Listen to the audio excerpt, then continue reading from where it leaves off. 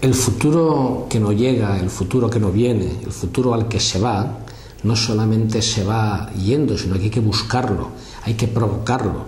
Ese es precisamente el sentido de la frase de que el futuro no viene, sino que el futuro se va, que hay que buscarlo y hay que perseguirlo luchando y trabajando.